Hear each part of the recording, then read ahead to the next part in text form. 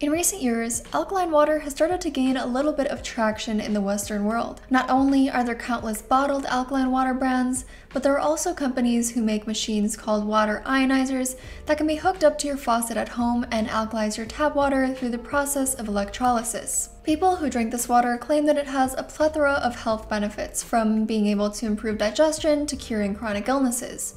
The leading water ionizer brand is Enagic, a Japanese company that has been around for over 45 years and is better known by the name of the water their machines produce, called Kangen water. One thing that may contribute to their notoriety is their direct selling business model, which was implemented in 2003 when Enagic entered the US market.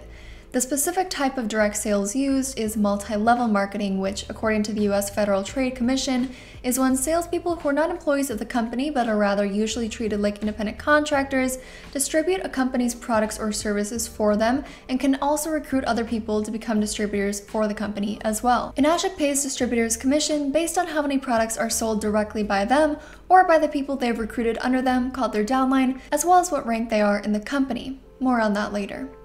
Because the majority of the advertising and promotional content shared about the products is through people who are considered independent contractors, these distributors can make claims about the water that have not been proven through scientific studies, and Enagic is not responsible for any false information that's put out there.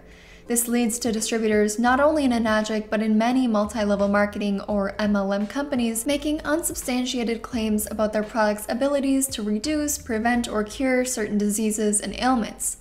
Since distributors earn commission by making sales, they're incentivized to spread what they usually don't know is misinformation about the product's abilities. Because they often rely on testimonials rather than science based evidence, eventually, just like in a game of telephone, anecdotes can become the foundation for what is provided as proof that a product cures cancer or can help you lose weight. If you were to ask consumers of Kangen water why they think Enagic is the leader in the industry though, they might tell you a different story, and they might be slightly angry that anyone would question the quality or abilities of their machines, as Kangen water users are often quite evangelical about the product. They might tell you that Enagic sets the gold standard, that they have the highest quality ionizers on the market, and that's why some of their machines cost upwards of 6,000 US dollars. They might point to all of Enagic's prestigious certifications or explain to you that you can actually take this water through airport security because it's medical grade water that's used throughout every hospital in Japan. You might, of course, hear a story about how Kangen water cured someone's lifelong dermatitis or made their gastrointestinal issues go away within weeks.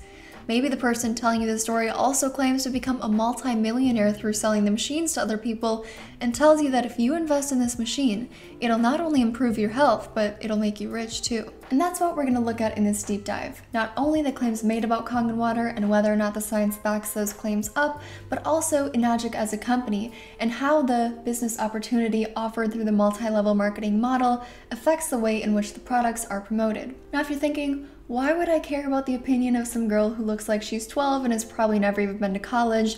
What makes her think she's qualified to determine whether or not this product is a scam? I think that's totally reasonable. First of all, I'm not going to say if it's a scam or not. I just want to kind of put the information out there that I've come across and you can determine for yourself whether or not you think it's a scam. Second of all, I'm definitely not a doctor, a physiologist, a chemist, or an expert in any field. Thing is though, the vast majority of the people promoting this product are not experts in any of those fields either. The difference between them and I though is that I'll actually provide sources for the things I say, whereas it's pretty rare to find distributors ever providing a source, and especially a reputable one, for their claims. They typically just rely on personal experiences, and therefore the majority will think that this video hasn't been fairly done because I've never tried Kangen water myself, but this is not a Kangen water review video. Testimonies are the least reliable form of evidence, and this video is about evidence, not my personal experience. I've also been told that making this video without trying the water makes me biased. The thing is though, we all have biases. Every Kangen distributor that's ever talked about the water has done so from a biased perspective, and everyone watching this video will watch it from a biased perspective. That's just how life works. But in my opinion, my biases will be backed up by much stronger evidence than theirs. I encourage you to check out my sources, make your own opinions of them, and of course find other information elsewhere, not to just accept what I say as truth. My intention with this video is not to dissuade you from buying a Kangen machine or any water water ionizer for that matter, it's to prevent you from making uninformed decisions. Before we get into the video, I need to make a few quick disclaimers. This video is just my opinion. Everything in this video falls under fair use. No claims made about MLMs in general necessarily apply to Enagic. No statements made by Enagic distributors shown in the video are necessarily representative of Enagic's views. Also, I'll be clarifying things or correcting myself if needed in the pinned comment, so please, if you're gonna comment, read that first. I'm gonna be referencing a group called the Breakaway Movement, or Breakaway or BAM for short, throughout this video, as that's where the majority of my information regarding what the distributors are saying about the products has come from. BAM is an online training platform and community that teaches people how to start their own online businesses through becoming distributors for Enagic. I originally intended to just make a video about them, but I had so much information that I had to split it up into two parts, so a lot of the statements that I making about distributors are kind of based on things that I've seen in their group and sometimes elsewhere as well. So with that all being said, let's go back in time a little bit and take a look at where this all started.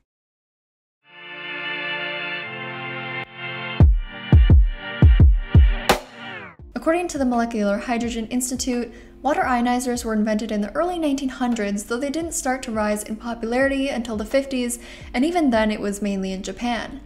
In 1974, Enagic's predecessor, Japan Shigomaku, was established according to the Enagic Museum, but according to Enagic's corporate history page, their precursor was Sony's specialty trading operation. Either way, the company eventually changed the name to Enagic in 1990 and began selling Kangen water, which means return to origin in Japanese. In 1998, they developed their eight point commission structure, which wouldn't be implemented into the company until five years later when they opened the Los Angeles branch and switched to direct selling. Today, they have 40 locations in 23 countries. Enagic currently sells seven water ionizing machines ranging in price from 1,980 to 5,980 US dollars, their most popular ones being the Leveluk SD501 for 3,980 and the K8 for 4,980. Now, the machines do not simply make water more alkaline. The K8, for example, produces 7 different pH levels of water, ranging from about 2.5 to 11 pH. The acidic 2.5 pH is promoted as being more effective than regular water for removing pesticides off food, as well as being a useful cleaner and disinfectant that is used in Japanese hospitals, which is what is sometimes said to be what gives Kangen water their medical device status. The 6.0 is referred to as beauty water and can be used externally on the skin and hair, whereas the more alkaline pHs are used for drinking, and these are just a few of the dozens of proclaimed ways to use the water. Some people are also under the impression that Kangen machines are just really overpriced water filters, when in fact it's listed that the only thing they actually filter out is chlorine. Instead, the other main selling point of water ionizers, besides their ability to change pH, is that the electrolysis process creates electrolyzed reduced water, or ERW for short, and hydrogen rich water, or HRW. ERW is water that has been exposed to an electric current called electrolysis, which separates the charged particles, and HRW is when there's hydrogen gas dissolved in water. Consumers claim that Kangen water, when alkalized, has a negative ORP or oxidation reduction potential, and the lower the ORP number, the higher the antioxidants in the water. The molecular hydrogen in the water, which makes it hydrogen rich, is also said to act as an antioxidant. Because the water is high in antioxidants, Enagic states that it can reduce free radicals and therefore suppress oxidative stress, which is what is generally said to be why Kangen water can fix and cure and prevent so many different health issues. Now, most people who hear this would have no way of being able to determine if that's accurate or not off the top of their head because most people aren't experts in physiology or chemistry, and I'm certainly not either. But some would probably hear that and think it's plausible, while others, especially those who have seen all the claims made about the water, would probably think it's ridiculous, it's pseudoscience, it's snake oil, etc. And I have to admit that was my first impression too. I've seen distributors make so many different claims about what this water can do. Bear with me because this is a really long list. They say it slows the aging process, boosts your immune system and metabolism, is 10 times more hydrating than regular water, supports skin health, cleanses your colon, gives muscle relief, relieves heartburn, indigestion, allergies, pink eye, diaper rash, snoring, eczema, psoriasis, soothes sunburns, cures cancer, Alzheimer's, diabetes, measles, polio, strokes, keeps your kidneys healthy, neutralizes acid buildup in the bones and all the toxicity in your body, improves digestion, circulation, and heart health, increases energy levels, helps with acid reflux, acne, arthritis, asthma, athlete's foot, regulating blood pressure, candida, cholesterol health problems, chronic fatigue, dermatitis, nail fungus, gout, the flu, sinus infection, sore throats, and food poisoning, helps strengthen bones, maintain normal bowel function, and balance the pH of your blood, decreases headaches and chronic illness symptoms, prevents and cures the CV, can replace weight loss pills, prevent the common cold, and reduce anxiety. Others go as far as claiming it decalcifies your pineal gland, balances your chakras, allows your body to remain in a state where it can heal itself, and is therefore the most healing and high vibrational water on the planet. Some of them truly believe that all water besides Kangen is toxic, and many say both bottled and tap water, even if filtered, are very unhealthy. But like I said earlier, distributors can make these claims regardless of whether or not there's science to back them up. So as for Enagic, what do they have to say about the benefits? Well, luckily they list all of them right on their website. They say, the benefits of consuming Kangen water are the minerals it contains and the optimal hydration it offers. Enticing. There's lots more to say about the science, but we'll save that for a little bit later in the video. In 2003, Enagic came out with their first mineral ion water spa system, the Enespa. Priced at $2,890, it comes with a filter that removes chlorine and bacteria and also contains three types of stones, Tufa Stone, Mike Stone, and Power Stone, the latter two of which I could not find any information about online, but they're said to make taking a bath or a shower feel like a relaxing in-home spa. The other main products they sell are their Ukon turmeric supplements, Ukon tea, and Ukon soap. A four month supply of their turmeric supplements will cost you $760. For the same price, you could also get 32 bars of their soap or 600 tea bags. Aside from that, you might decide you want a selfie stick or golf balls with the Enagic logo on them, and you can pick those up from the goods section of their online shop. Like most medical device companies, Enagic also has some wildly diverse side hustles, such as a country club, a table tennis club, their very own hotel, and a shrimp farm, to name a few. Through all these business ventures, they're able to have an annual revenue that's estimated to be between 140 and 200 million, depending on who you ask, and it's not clear if that's globally or just their US revenue. I've also heard that they're on track to be a billion dollar company in 2020, so they're doing pretty well for themselves. Let's go into some depth about possible reasons why. First reason, robocalls. In 2019, Enagic was sued for $27.6 million. According to the Enagic Auto Dialer class action lawsuit, the company violated federal consumer protection law when it used robocalling to contact consumers who had not given their permission to receive such telemarketing calls from the company. Class members can share 21.6 million of that, each receiving $12, meaning there were 1.8 million people they called. Good job. Distributors like to promote that you can take the water through airport security. A lot of people think that they're all lying about that. I think that's a bit far-fetched though, because many of them post pictures of them taking it through airport security. I don't think they would all lie about something that I quite frankly don't really see a reason to care about all that much. I mean, finishing or dumping out your bottle before security and then filling it back up after is not that much of a hassle. Also, whatever method they're using, could be used by anyone with any sort of water because it's not like the TSA people would be able to determine whether it's from a Kangen machine or not. So kind of a weak argument that I personally don't care about. The terms medical device or medical grade water are often used in promotional content, though I get the impression that most of the distributors have no clue what these terms even mean. They just know sticking the word medical in there makes them sound more credible. I struggled to find a definition for medical grade that wasn't about specific things like medical grade polymers, but according to the World Health Organization, medical device means any instrument apparatus, implement, machine, appliance, implant, reagent for in vitro use, software, material, or other similar or related article intended by the manufacturer to be used alone or in combination for human beings for one or more of the specific medical purposes of diagnosis, prevention, monitoring, treatment, or alleviation of disease, diagnosis, monitoring, treatment, alleviation of, or compensation for an injury, investigation, replacement, modification, or support of the anatomy or of a physiological process, supporting or sustaining life, control of conception, disinfection of medical devices, and providing information by means of in vitro examination of specimens derived from the human body. As previously stated, some distributors make the claim that not just any water ionizers, but Enagic's ionizers specifically are in every hospital in Japan. Some say they're in hospitals all over Japan, some say they're in over 250 of them, so there's clearly not a consensus on this. But most of the things I've seen have been people saying the 2.5 acidic water is used to sterilize and sanitize surgical equipment, which would fall under disinfection of medical devices. There are others who claim that these machines are used to treat patients for various things. According to the Molecular Hydrogen Institute, though, regarding water ionizers in general, they say it has also been claimed that the majority of hospitals in Japan use and prescribe ionized water to their patients, but this is also not true. Many medical doctors in Japan have never seen or even heard of a water ionizer being used for hospital patients. There was an early Japanese advertisement that made it appear that this was the case, but it is not. They also say the fact that these units have been classified as medical devices does not offer any evidence for their potential to treat and or prevent disease. But then they say that in the 1900s, the Japanese Ministry of Health, Labor and Welfare also approved the mildly and strongly acidic waters as medical substance, and when the Drugs, Cosmetics and Medical Instruments Act of Japan was revised in 2005, a device for the ERW production was reauthorized as a home managed medical device for the improvement of gastrointestinal symptoms. So it being a medical device doesn't necessarily mean that it must have the ability to treat or prevent disease, but machines that produce ERW are apparently effective for gastrointestinal symptoms, and the acidic waters are likely effective for disinfectant purposes. Kangen salespeople rarely specify where their machines are classified as medical devices. If you type in Enagic on the Global Unique Device Identification Database, which can be used to find information about US medical devices, nothing comes up. Also, this site says that Korean made ionizers are medical devices in Korea and Japanese made ones are medical devices in Japan. They say another fake water ionizer comparison trick is to make claims based on saying their ionizer is the only medical device available. No water ionizers are considered medical devices in the US.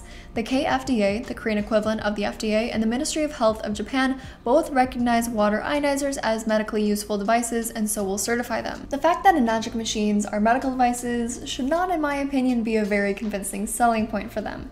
It should make you question why a medical device company would choose a multi level marketing business model. It should make you question why this company would want to make it possible for any random person with no qualifications to be able to promote and sell that machine and then have that be their main form of advertisement. I mean, imagine if there was like a pacemaker MLM or an IUD MLM. It'd be a little weird. I know that obviously direct sales is like a gimmick. It's supposed to create this like exclusivity. Oh, you can only get it through me. Get it while it's hot. But I can't think of any real situation where a legitimately good product would best be sold in this way. Something I haven't mentioned yet is that you cannot purchase a machine except through a distributor. You can't go onto their website or go to Target and just buy one. You have to have a distributor's ID number if you want to purchase one. This is just really odd and not something that's common among the other MLMs that I've looked into. You also cannot purchase a machine without then becoming a distributor yourself. Not that you're required to try to sell or recruit, but you're automatically given a distributor's ID. And since being a distributor means that you're an independent contractor for the company, if you live in the US, for example, you have to give this company your social security number just to buy a machine. To me, there's just something a little bit off about that, and I can't figure out how that would be the best, most responsible way to sell a medical device. Another thing they like to say is that Japan is the healthiest country in the world and use that as evidence as if that means that anything made there is automatically amazing. Unfortunately, I'm not even able to find any statistics where Japan is ranked the number one healthiest country. Even if it was number one, I don't think that would matter, but these machines are produced in Japan, they're most popular there, most of the research done on ERW and HRW is done in Japan. Uh, people say that one in five Japanese households owns a Kangen machine, not that I necessarily believe that. While in Western countries, especially in the US, while they are gaining popularity, they just aren't very common. Not a lot of people know about them. There's not a lot of research being done on them here. And that is used as evidence that Western countries are very behind scientifically, especially related to preventative medicine, and that the pharmaceutical industry knows about all of Kangen water's healing properties, but doesn't want anyone to find out because they want people to stay sick so they can continue to make more money. From my research, Kangen water seems to be pretty big with people who are into alternative medicine, and alt med folks tend to usually believe that since Big Pharma makes money off of people being sick, then they're not to be trusted. I'm not sure how they think alternative medicine makes money because I'm pretty sure they also profit off the sick, and water ionizer companies profit off the sick too. Especially since they are promoted as these magical panaceas, a lot of people with health issues end up purchasing these after being told that it could reverse their diabetes or Alzheimer's. Someone who is an order processing person at one of Enagic's location posted on the anti-MLM subreddit about their experience working there and said, Countless people with last stages of cancer would come in who would believe that they have cancer because their bodies are too acidic.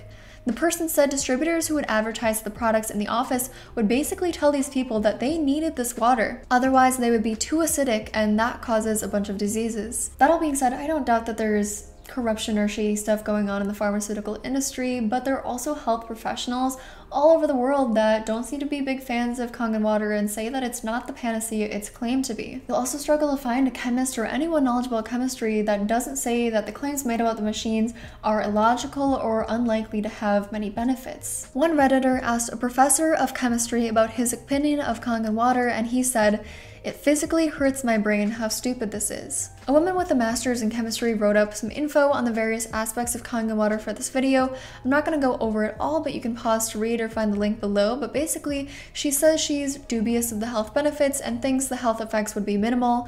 She also stated that her partner has a doctorate in chemistry and feels the same way.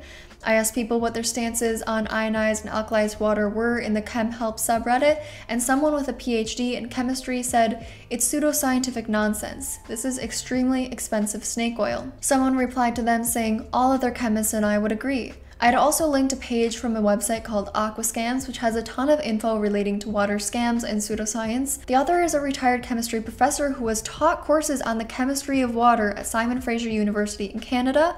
One Reddit user replied to my post saying, The article you linked is pretty accurate about the science. It's a quack product designed to prey on the fear of people who don't know any better, often targeting cancer sufferers and people with other terminal illnesses who are desperate for anyone to tell them they can be cured. They often base the ideas of their sales spiels on some unrelated science and misconstrue that their products are supposedly proven to work based on some unrelated study. The study itself is sometimes true and reputable science, just completely misappropriated. I highly recommend checking out Aquascams and looking at the quackery and scams section of the FAQ page, the page on structured water, which is kind of like another name for alkalized water, and the ionized and alkaline water page, and reading those in full. But regarding water ionizers, he says, what most of these outfits actually sell are grossly overpriced electrical devices that purport to produce ionized and alkaline water by the process of electrolysis. Many of these water ionizers appear to have their origins in Japan and Korea, two countries whose populations seem to be particularly susceptible to being taken in by pseudoscientific water treatment schemes.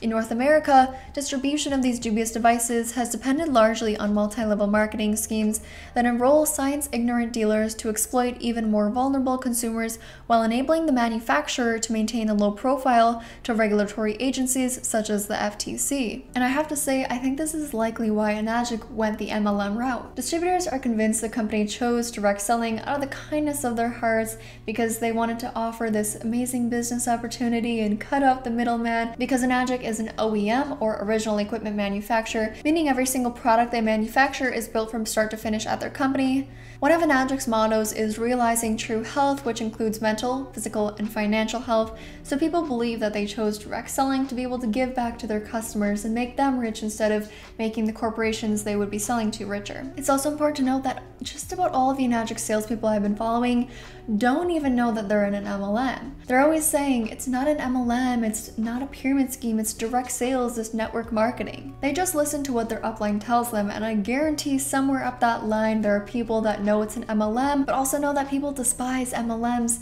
so they use the terms direct selling and network marketing to deflect the bad reputation that MLM gives a company or a person in one. Because many of these people don't know they're in an MLM though, they truly think that direct sales is the future and that is a very respectable business model. In reality, the fact that a company chooses multi-level marketing, especially a company that sells a medical device or a purported health product, is not, in my opinion, remotely respectable. Companies know that it allows for personal stories and people's desire to make the product sound as appealing as possible to drive sales and increase the spread of false information. Enagic would be sued over and over and over again if they made half the claims that these distributors are making. And those same claims wouldn't be so widespread if it weren't for the MLM aspect, which encourages people to talk about the product way more than they would for something they weren't making money off of. Anyways, let's get back to Aquascams. Like I said, I encourage you to read this page in full, but I want to read a little summary of points from the ionized and alkaline water page. Here in a nutshell are a few basic facts that I believe anyone with a solid background in chemistry or physiology would concur with. Ionized water is nothing more than sales fiction. The term is meaningless to chemists. Pure water, that is water containing no dissolved ions, is too unconductive to undergo significant electrolysis by water ionizer devices. Pure water can never be alkaline or acidic, nor can it be made so by electrolysis. Alkaline water must contain metallic ions of some kind, most commonly sodium, calcium, or magnesium. The idea that one must consume alkaline water to neutralize the effects of acidic foods is ridiculous.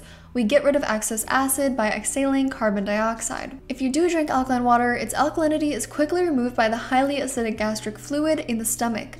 Uptake of water occurs mainly in the intestine, not in the stomach, but when the stomach contents enter the intestine, they are neutralized and made alkaline by the pancreatic secretions, so all the water you drink eventually becomes alkaline anyway. The claims about the health benefits of drinking alkaline water are not supported by credible scientific evidence. Quick interjection, it can be really confusing when people use the term alkaline water because some say that only applies to water that's made through a chemical change like baking soda, which is added to a lot of bottled alkaline waters, um, but some also use that to refer to alkalized water, which is made through ionizing devices. So when somebody's using the term alkaline, you really kind of have to know the context to know if they're talking about like bottled alkaline water or alkalized water made through through ionizers. Because if they're talking about bottled alkaline water, proponents of ionizers will say that it's not relevant to ionized water. Anyways, ionized alkaline water is falsely claimed to be an antioxidant. It is actually an oxidizing agent as can be seen by its ability to decolorize iodine. There's nothing wrong with drinking slightly acidic water such as rainwater. Body pH is a meaningless concept. Different parts of the body and even of individual cells can have widely different pH values the pH of drinking water has zero effect on that of the blood or of the body's cells. And that's something that many proponents of alkaline and alkalized water claim, that drinking higher pH water can raise the pH of your blood or your body. Yet sources like Mayo Clinic say there's no evidence for that. In fact, alkaline water companies and people who drink their water are the only ones I've ever seen claim that the water can change your body pH. But people will build upon this false information with other false information about the 1931 Nobel Prize laureate laureate Otto Warburg, who they say discovered that cancer cannot survive in an alkaline environment. This is a complete misrepresentation of his actual work, though. According to Alex Kasprak, a science writer and journalist for Snopes, Warburg's main contribution to cancer research was the observation that cancer cells actually produce low oxygen and high acid conditions, not that they are caused by such conditions in the first place. This is a myth that has been debunked by many other educated people too, but is still being spread around by proponents of alkaline water and alkaline diets who usually only do one-sided research. If you really want to deacidify your stomach at the possible cost of interfering with protein digestion, why spend hundreds of dollars for an electrolysis device when you can take calcium magnesium pills, Alka-Seltzer, or milk of magnesia? Electrolysis devices are generally worthless for treating water for health enhancement, removal of common impurities, disinfection, and scale control. Claims that ionized waters are antioxidants are untrue. Hypochlorites present in most such waters are in fact oxidizing agents. Claims that water ionizers are approved for use in Japanese hospitals are misleading. These approvals merely attest to the machine's safety, that they will not electrocute you.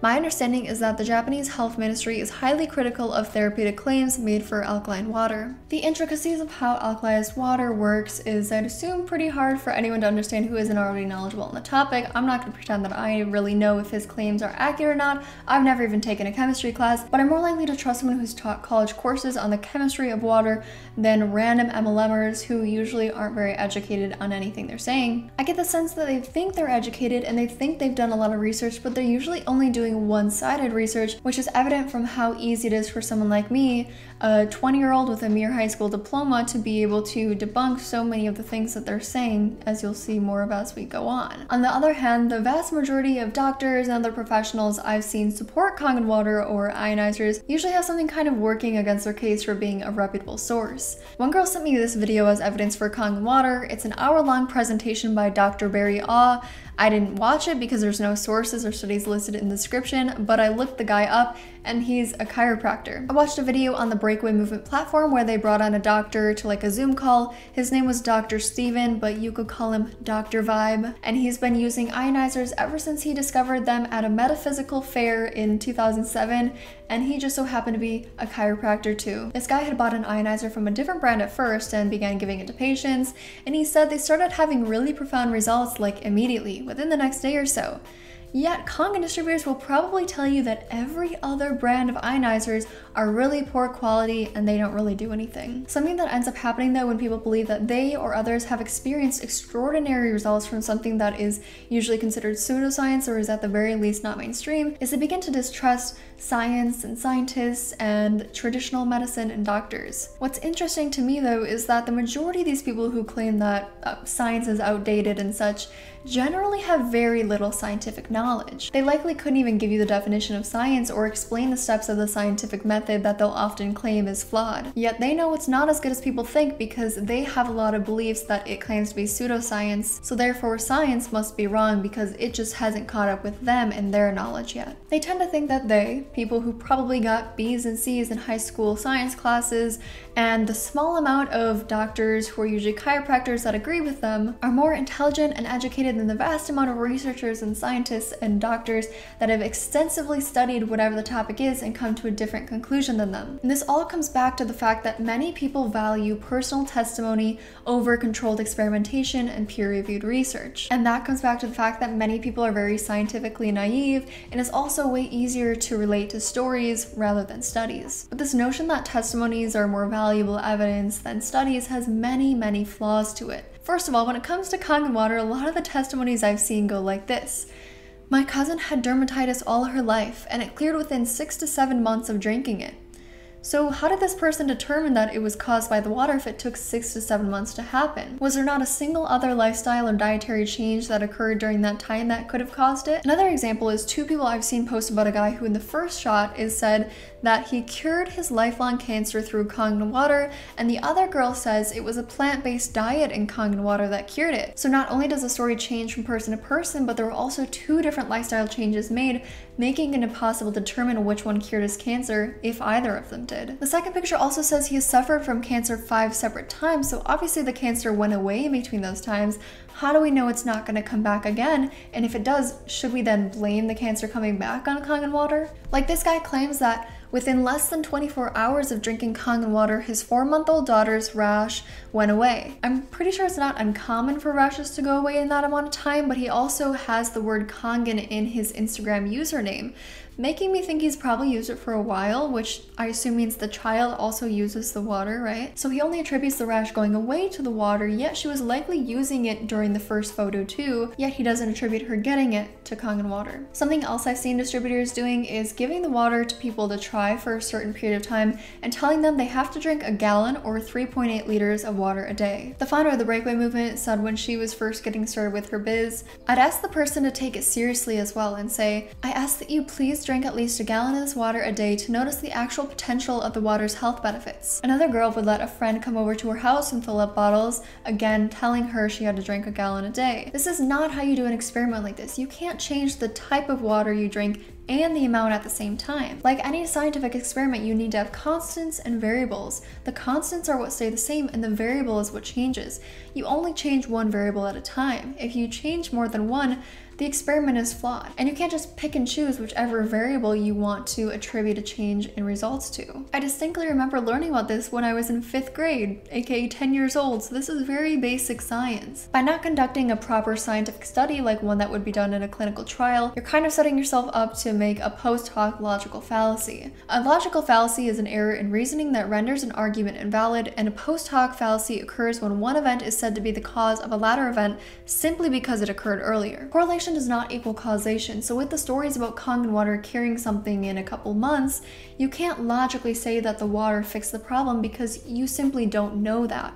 And then when it comes to negative experiences, like this person who posted about their grandchildren's teeth being destroyed and another family member developing other health problems due to alkaline water on a page about Kangen water specifically, I'm sure Kangen supporters would say, well, how do they know it was Kangen water that did that? But they fail to apply that same logic to their positive experiences. You also have to take the placebo effect into account, like any well done clinical trial would do. If you don't know, the placebo effect occurs when a person is given something that seems to be a real medical treatment but is not, yet they have have a reaction to the fake treatment. Why does this happen? Well, according to WebMD, one of the most common theories is that the placebo effect is due to a person's expectations. If a person expects a pill to do something, then it's possible that the body's own chemistry can cause effects similar to what a medication might have caused. Experts also say that there is a relationship between how strongly a person expects to have results and whether or not results occur. Since a lot of people who buy ionizing machines are easily persuaded by the stories of others, I think it's safe to assume that the placebo effect could be responsible for at least some of the stories of rapid and miraculous healing after drinking Kangen water. Many pseudoscientific things also have bizarre backstories that are founded on inaccurate information that are used for like evidence of historical proof for the product's benefits or where it originated from. I was curious about why water would need to be restructured, which is what they claim happens through the electrolysis process, by a machine that runs on electricity, which was only invented a couple hundred years ago. And I know that's an appeal to nature fallacy. I understand that unnatural things can have health benefits, but I don't understand the implication made by some that regular non Kangen water is like not what we're supposed to be drinking or is inherently unhealthy when from an evolutionary standpoint, we should have adapted to the water found in nature enough for non-electrolyzed clean water, of course,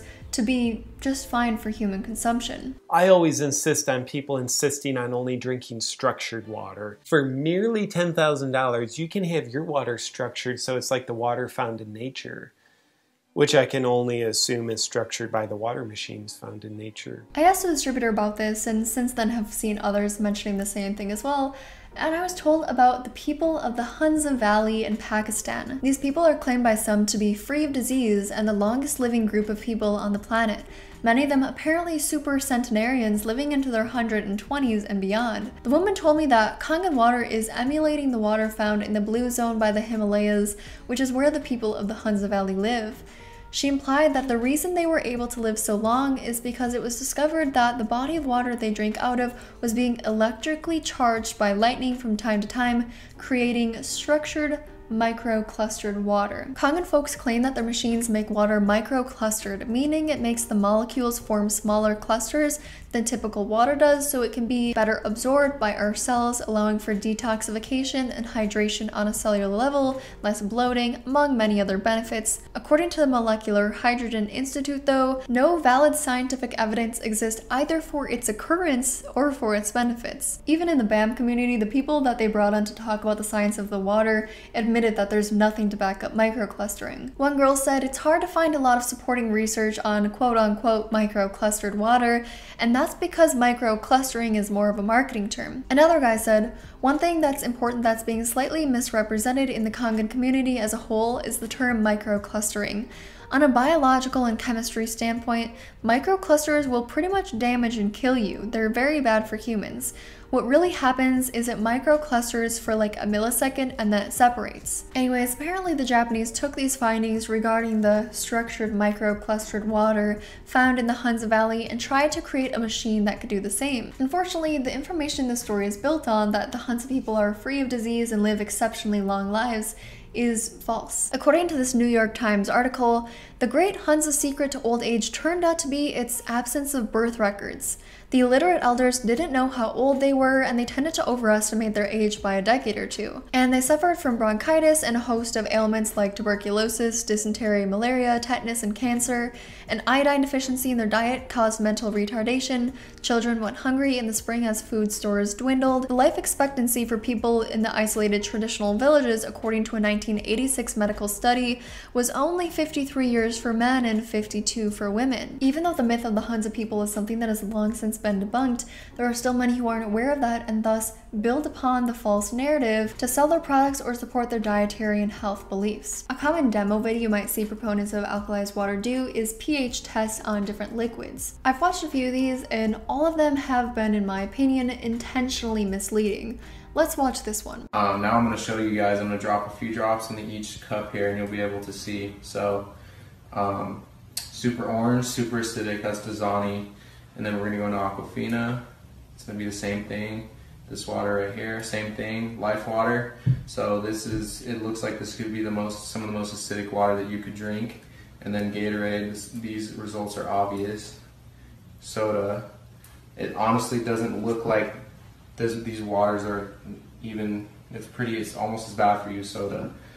And then the tap water right here, so you guys are gonna see a difference in the color. So it might look close to neutral, but it's not. The reason why it's coming out this color is because the tap water is federally regulated with 14 plus chemicals in that water and they do that to clean the pipes out Um, but what about the pipes in your body? Like people that are drinking this water need to know about this.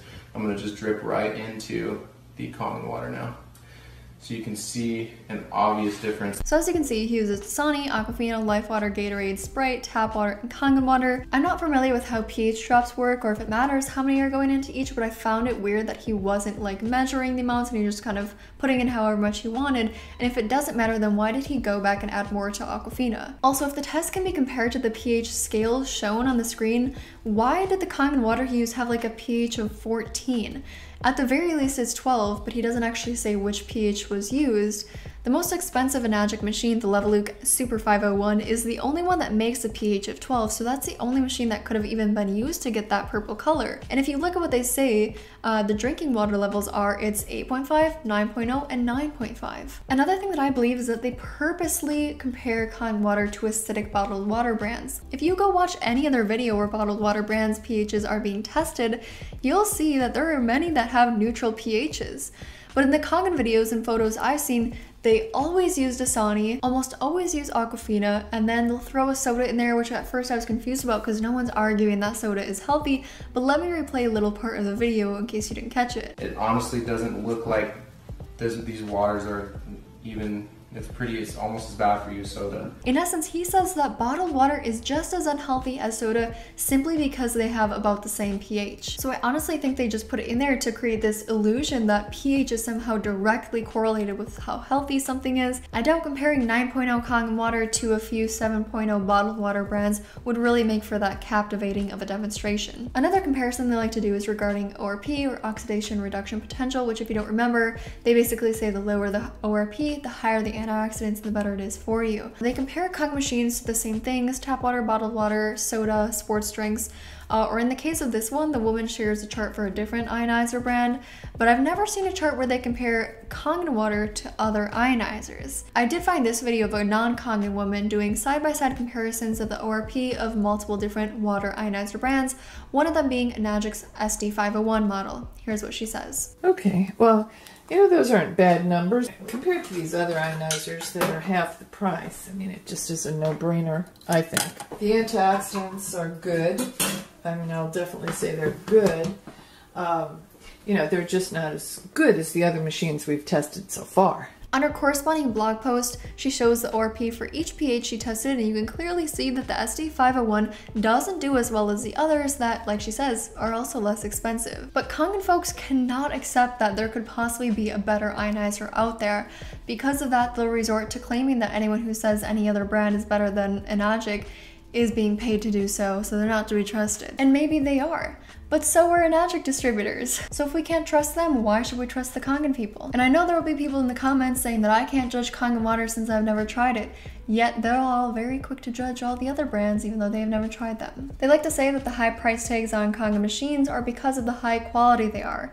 I've heard someone say that based on the extensive research they did, the amount of electrode plates that the K8 has, which is 8, is the best amount. Any more is overkill and any less and it's just not enough and all the other brands don't have exactly 8. Problem with that is that the K8 is the only Enagic machine with 8 plates. The rest contain between 3 and 7, so why would Enagic make only one machine with the right number of electrode plates? Like I mentioned earlier, Enagic apparently sets the gold standard and has a ton of certifications. I have to admit the presence of the color gold does make it sound very prestigious, but when you really look into it, those things don't really mean a whole lot. First of all, a gold standard is a well-established and widely accepted model or paradigm of excellence by which similar things are judged or measured. Seems to me like a completely arbitrary term. I don't think there's any organization that's determining which company sets the gold standards for its industry. Let's go through the certifications Enagic has. I'm going to try to paraphrase these as much as possible since this video is so long. Up first, we have ISO 9001. This just relates to the management of the company and customer service, meeting customer needs. I'm shocked they have this considering how many people I've heard say they have really bad experiences with customer service, and mine have been absolutely terrible, but we'll talk about that later. ISO 14001 just relates to the company sticking to its own personal environmental goals. The certification doesn't doesn't even state specific environmental performance criteria. ISO 13485 applies to medical devices specifically and just says the company needs to demonstrate its ability to provide medical devices and related services that consistently meet customer and applicable regulatory requirements. Next up, we have the WQA, Water Quality Association, Gold Seal Certificate, and Official Gold Seal listing. These seem to be two ways to describe the same thing. WQA's Gold Seal product certification program ensures that the product is constructed or formulated from safe materials, the claims listed on the packaging are backed by test data, and the product will hold up under normal usage conditions. So it's good that the products are made from safe materials and are durable. Regarding the claims on the packaging, I was able to find a few pictures, videos of packaging, but not a whole lot. As you can see, the top of the box doesn't list any claims about benefits, while the front might in that really small writing, but I don't know. And then the side is blank. Given that they're not sold in stores, I don't see any reason for health claims to be listed on the packaging, and if they were, it'd probably just be the same things that were listed on the website. Next, it's listed that it's a member of the Direct Sellers Association or the DSA. This is supposed to make it sound like Enagic is part of some elite exclusive group because there are only 140 members that were part of it in 2017 out of the thousands of direct selling companies that exist. The DSA is a lobbying group for MLMs and other direct selling companies, though. Being a member of the DSA does not mean a whole lot. The MLM Advocare was a member before it was shut down for being a pyramid scheme. Truth in Advertising found that over 97% of DSA members had distributors that made false income claims in 2017. An income claim is just a statement of how much income you've earned or how much others could earn in an MLM without providing the company's income disclosure statement, which lists the average distributor earnings. Not all companies put out disclosure statements, Enagic being one of those, which many consider to be very shady. It's against FTC guidelines to make income claims, but clearly it's not well enforced. Back in 2006, when the FTC proposed this rule that would require sellers of business opportunities to disclose average incomes, references, and other information crucial to a decision on whether or not to participate, the DSA and its members issued appeals to millions of MLM participants to use their form letters to write in objections to including MLM in the rule rule. Unsurprisingly, the Enagic folks I've been following make income claims on a very, very regular basis. I'm sure most of them have no clue that they're not allowed to make them, and others don't care. Anyways, a certificate of recognition in Enagic has is the DSA Code of Ethics Communication Initiative, which doesn't mean a whole lot considering Advocare got the same recognition and now they've been determined to be a pyramid scheme, so the DSA certifications are pretty worthless in my opinion. Next up, registration for Kangen Ukon Certificate of FDA Food Facility. This is just a legal requirement for the Ukon supplements. They also have an A plus rating with the Better Business Bureau and are BBB accredited. The link takes you to Enagic USA, which has a C minus rating and is not BBB accredited. The Bureau says, BBB ratings represent the BBB's opinion on how the business is likely to interact with its customers, and it says the C rating is based on the fact that Enagic hasn't responded to three complaints. Since the rating is no longer A+, they just changed it to say as of March 7, 2016, but the distributors don't pay attention to that and still think Enagic has an A plus rating. They have their medical device manufacturing license issued by Osaka Prefecture. This is just proof that it's licensed to be a medical device in Japan. The next one is their medical device marketing authorization issued by the Ministry of Health, Labor, and Welfare of Japan. The document certifies that Enagic is licensed in accordance with the provisions of paragraph 1, article 12 of the Pharmaceutical Affairs Law of Japan. I can't find exactly what that says, but this document has an overview of it. It seems like it's just making sure medical devices are made in accordance to regulatory requirements like product safety, quality assurance, and actions for incident and recall. The registration, certificate of Kangen water, and change your water, change your life are the next two, and that's just proof that they trademarked those terms. They have a certificate of registration of copyright or something. I don't know how copyright certificates work, and the document is blurry. Next is the 8-point business model trademark, which shows that they have patented their MLM compensation plan, which is pretty impressive, right? No, you don't care? Well, distributors love to talk about this like it means something great. Our compensation plan is patented and it's the best in the world. Unfortunately, I couldn't find an Enagic certificate for World's Best Comp Plan. Um, also, having a patent for something doesn't mean that it's high quality.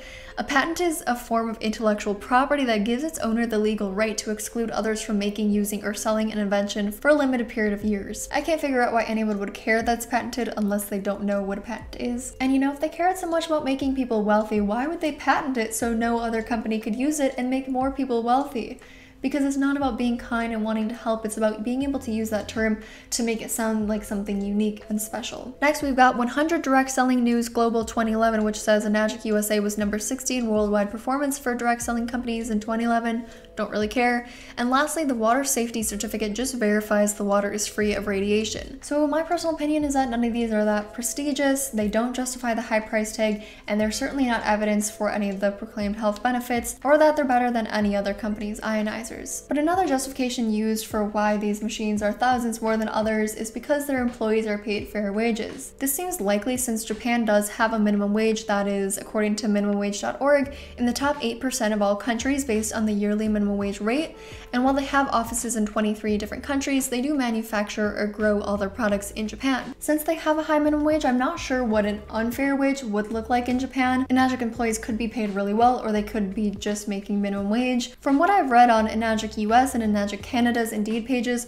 most people who left comments about pay did seem to feel that they were being underpaid. So, they're not the only brand whose machines are medical devices. There's no indication that they're classified as medical devices for reasons other than for sanitation purposes or acute gastrointestinal problems. They're not used throughout all the hospitals in Japan. Other brands' machines produce lower RPs. Only one of Enagic's machines has the correct amount of electrode plates that supposedly makes them better than all the other brands.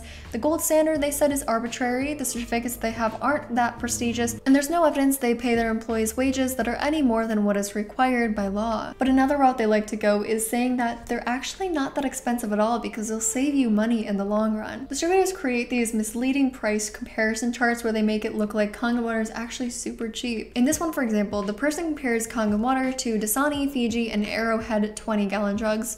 The 40 year cost of Kangen, she says, is $5,038 which makes no sense. I don't know where that number comes from considering the K is $4,980. Of course there would be extra costs like taxes and shipping and whatnot, but I have a screenshot that I believe shows what it costs for someone living in Seattle, Washington to get a machine where the combined state and local tax rate is 10.1%, so that equals $502 in taxes, $23 for shipping, and $240 for handling, giving us a grand total of $5,745. Also, I've never seen anyone say that the machines last 40 years. It's always 25 to 30. And then you have to replace the $130 filter every three to six months. So that adds an extra ten to $20,000 onto that 40 year cost. Then the Arrowhead they say is $43,000 over the course of 40 years. Dasani is 55,000 and Fiji is $257,000. First of all, if you're only drinking Fiji water, you're obviously rich and don't care about the price. Secondly, in really small writing, she says that this chart is made assuming you drink two gallons or 7.6 liters of water a day. Why would she assume that? No one drinks that much water. Two gallons is 256 fluid ounces divided by 16.9 fluid ounces in Dasani and Fiji bottles.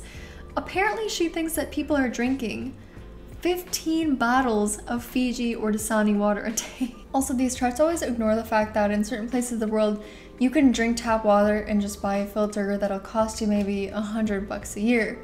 They also ignore that when talking about the environmental aspect. Ionizing machines are, I'd assume, better for the environment than plastic bottles, and that's great, but again, there's tap water and cheaper filters that filter out more than just chlorine. Enagic and their salespeople will actually encourage people to purchase pre-filters because of that. Also, there are many places around the world that have like water refill stations, so you can reuse large jugs and get clean water from those for, again, much cheaper. Another way they make it seem like Kangen is a super good price is by implying that the water will make you less likely to have health problems.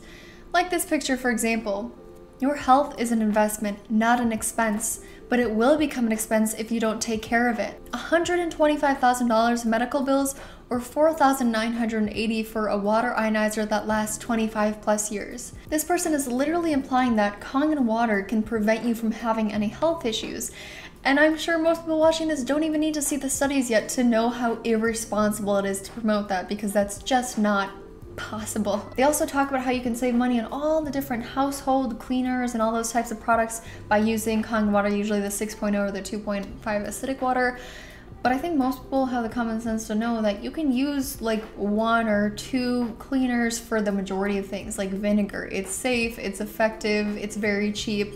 You don't have to have like 50 different things for different parts of your home. Distributors often talk about them lasting 25 to 30 years as another reason that they're worth the price, but when you think of like fridges can last that long too, but most people aren't out here buying the most expensive fridge. Generally, when it comes to expensive appliances, people only buy the most expensive ones if they're wealthy. Speaking of fridges, I've seen many people compare Kangen machines to fridges in the sense that they believe that these machines will one day be as widespread and common as refrigerators. Like always, not any water ionizer, but Enagic specifically.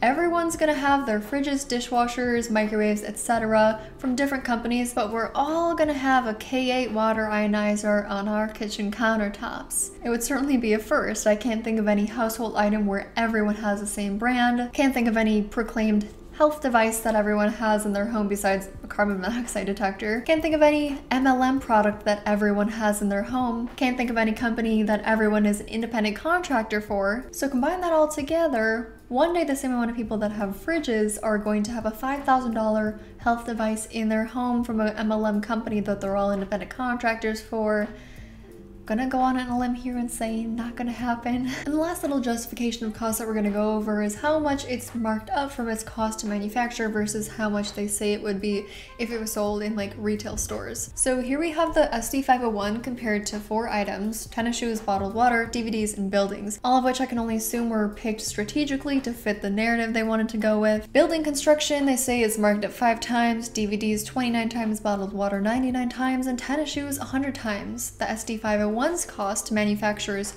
$1,400. At the bottom it says if Kangen was sold in retail stores, they would cost 10000 or more. And that's not an exaggeration. We're supposed to look at this and think, wow, Enagic's ionizers are marked up way less than all these other products without any sources for any of these numbers. First of all, I have a hard time believing the SD501's markup is only 2.85 times considering the amount of money that is paid out to distributors. The lowest number I've seen is 51% of money made is paid out as commission, the highest is 70%, but 54% is the number that I've seen much more frequently than those. 54% of 3,980 is 2,150, which means 1,830 is not paid out as commission commission. If the cost to manufacture is $1,400, then only 430 per SD501 is left over. But they also pay out bonuses that couldn't be included in that 54% based on my calculations that go from 3,000 all the way up to $800,000 for hitting certain ranks in the company, as well as monthly residual income for the rest of a distributor's life that can be passed down to their children when they die.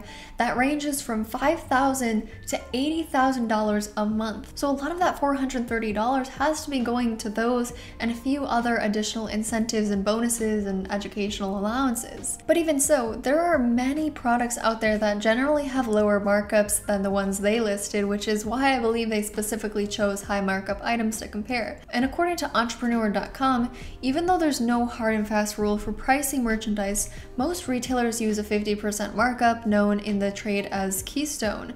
What this means in plain language is doubling your cost to establish the retail price. So I'd assume most products we purchase are not marked up by 99 times. My initial impression was that the high price was due to the MLM aspect as MLM products generally are overpriced, they need to be. But you might have noticed earlier when I quoted the Aquascam's website, he made it sound like water ionizer companies in Western countries being MLMs is far from uncommon. And upon looking it up, you'll notice that other popular brands like Chanson and AlkaViva also offer business opportunities, but are about half the price. So at the end of the day, I think what it comes down to is that you can charge people whatever you want for a product as long as you can convince them it's worth the price. And Enagic salespeople do that through spreading misinformation and lies.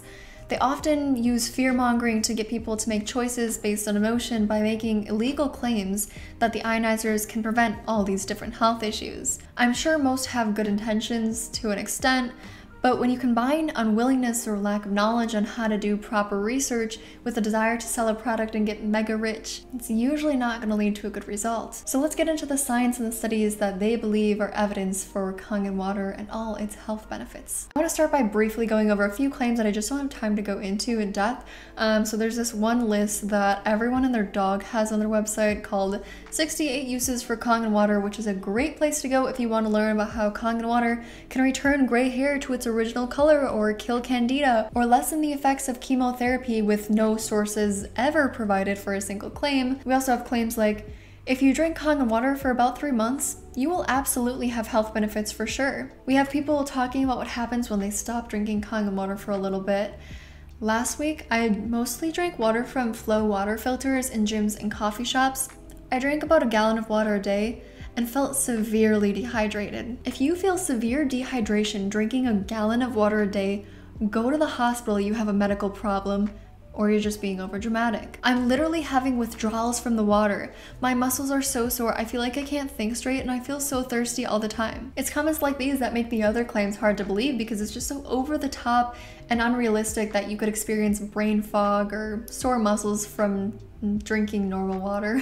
My favorite ones though are about the CV. Aside from preying on people who have been laid off or lost their jobs due to the pandemic, a lot of these distributors are posting about how the 2.5 pH water is the only thing you need to fight off the CV or it prevents the spread of the CV. So many of them were spreading this misinformation that Enagic had to put out a statement. Strong acidic water has not been tested against the CV and is a violation of Enagic policies and procedures and against the law to claim otherwise. Also, I rarely, if ever, have seen distributors show any awareness that the 2.5 acidic water has to be used relatively quickly after it's been made. The longer you just let it sit out in a glass squirt bottle on your counter, the less potent and effective it will be. This is also something that seems to be a thing with molecular hydrogen. You need to drink it quickly. The H2 molecules don't just hang out there forever, but we'll talk about this more in a little bit. Overall, as you can tell, Kangen water is being promoted as a panacea, a cure-all, and this is far from the first product that has been claimed by thousands of people to cure hundreds of different things. Essential oils are probably some of the most popular proclaimed miracle cures today, yet the evidence does not support that. So when it comes to Kangen water, if it truly does do all these things that the distributors are saying, uh, we should see that reflected in studies because they shouldn't be making claims that aren't backed up by actual evidence. But as we know, Enagic doesn't claim the water has any benefits besides minerals and hydration and has to tell the distributors they can't make health claims, which in in and of itself should be convincing enough evidence that these claims are not backed up by science, in my opinion. Some distributors, though, will say that there are over a thousand studies on the benefits of ionized water, while others will say there really aren't that many, and that's because Big Pharma doesn't want people to know. I'm not sure how the pharmaceutical industry would have any jurisdiction over which studies are allowed to be conducted or published or whatever they think is going on. I've also seen some people say that there's not that many studies because of lack of funding, but if that's the case, why doesn't Enagic just fund some themselves? Is it too expensive for them? Maybe they could get one of their distributors making $80,000 a month to pay for some. Whatever the case, from my research, it does seem like there's a somewhat decent amount of studies on ionized water. Specifically, they're looking at electrolyzed reduced water, ERW, or hydrogen rich water, HRW. It seems like so far, most of the studies have been done in animals. There's significantly less human studies. What we're going to be looking at today is definitely not every single study that's ever been done on ERW and HRW, but we're going to look at some links that were sent to me from the first girl I was ever in contact with before even deciding to make this video, who was trying to convince me of Kangen water's powers, and we're also going to look at what I kind of called the BAM master list of studies. When I signed up to BAM, I got access to their research Google Docs and figured this one would be a good thing to go through. Between the two, we have over 100 studies, many of which we'll be able to breeze through pretty quickly. Let me explain why. Some of the studies linked can't be accessed without being paid for. Sometimes they cost upwards of $100. I guarantee these people didn't pay for them. They just read the abstract, determined it supported ERW and HRW and copy and pasted the link. An abstract is just a summary of the study that's typically available even if the article can't be accessed without paying for it. It doesn't list the details of the study and is therefore not really the best to list as evidence since most people, myself included, are not going to be dropping hundreds of dollars to look through all these studies. When we only have access to the abstract, we often can't determine how many people the study was conducted on, which is called the sample size. If the sample size is really small, it's not good evidence. There are many studies in these lists that have like 20 people in the study, and that's just not good enough, especially because for the majority of the health issues listed, they only link one, two, maybe three studies. You know, we didn't conclude that smoking causes lung cancer because of a few studies done on a couple dozen people each. We're gonna be skipping the cell, animal, and in vitro studies. Obviously, they serve a purpose, they don't just conduct them for the heck of it, but they're not really the best evidence. I wanna go over this infographic that's a rough guide to scientific evidence. On the side, it says that it's laid out by strength of evidence from weakest to strongest. First up is anecdotal and expert opinion. Anecdotal evidence is a person's own personal experience or view, not necessarily representative of typical experiences. An expert's standalone opinion or that given in a written news article are both considered weak forms of evidence without scientific studies to back them up. Animal and cell studies. Animal research can be useful and can predict effects also seen in humans. However, observed effects can also differ, so subsequent human trials are required before a particular effect can be said to be seen in humans. Tests on isolated cells can also produce different results to those in the body. Randomized controlled studies. Subjects are randomly assigned to a test group which receives the treatment or a control group which commonly receives a placebo. In blind trials, participants do not know which group they're in. In double blind trials, the experimenters do not know either. Blinding trials helps remove bias. And systematic review. Systematic reviews draw on multiple randomized controlled trials to draw their conclusions and also take into consideration the quality of the studies included. Reviews can help mitigate bias in individual studies and give us a more complete picture, making them the best form of evidence. I also want to mention that no matter how much any of these studies support ERW or HRW, they are in a sense cherry picked because, of course, in lists of evidence for Kangen water, they're not going to include ones that didn't really show as good of results, but there are likely studies that have been conducted that have shown very, very weak or no results at all on these things that we're going to be looking at. And to my knowledge, there has never been a single study done on Kangen water. In fact, most of these studies don't even use water ionizers. And clinical trials done with different types of products are not necessarily evidence that commercial products can have the same effects as what they're using. When the studies can't be accessed or they're done on animals or cells or in vitro or have very, very small sample sizes, I mean, very small. Most of these don't even have over 100, so usually under 30 I didn't look at. Uh, when there's no control group, we're just gonna be moving on real quick. Disclaimer again, I'm not an expert in any field. I'm not an expert on reading studies. So for the studies that like don't have obvious flaws, they could have flaws that I'm not aware of or just not really be applicable to Kangen water in ways that I can't see. If you are very educated on this kind of stuff, uh, feel free to like message me and let me know and I can add things to my sources. But let's get into it. The first few links from list number one are not studies, but we'll go through them anyways. Uh, first is a YouTube video about what happens to blood cells after drinking coffee, Dasani, and Kangen water. It would be an interesting experiment if it had been conducted properly, but he just drinks one after the other, so the results are cumulative and therefore the experiment is not a reliable source to support Kangen water. Next, she links a BAM web class with a guy named Andrew Prowinski. She says, Andrew has done years of research on Kangen water and he explains how a lot of the information he has found is not available on Google or other search engines. I'm not sure why she considered him a reliable source when he's a professional chef and there are no sources given for anything. Regarding the information not being available on the internet, in the call he says he pays for a National Institute of Doctors research subscription, which, unless paid for, is only available to licensed doctors and physicians. Apparently, this subscription is not available online either because if you look that up, there's nothing called the National Institute of Doctors Research, which you would expect if it existed at all. Next is the 68 ways to use Kangen water, which again does not list sources, so I don't care what it has to say. She links an article from Dr. Mercola's AltMed website about Google censoring natural health articles and promoting pharmaceutical articles. I didn't read it because you have to sign up for a subscription, but let's assume Google censors things. I don't doubt that they do. Does that mean that the things they're censoring are good things that they just don't want us to know about and are trying to hide from us? Or is it possible that we've studied medicine extensively and AltMed has not shown itself to be as effective and produce the same results as traditional medicine. It's just like on YouTube when someone makes a video denying climate change, it will recommend a Wikipedia article on global warming because that person is spreading false information.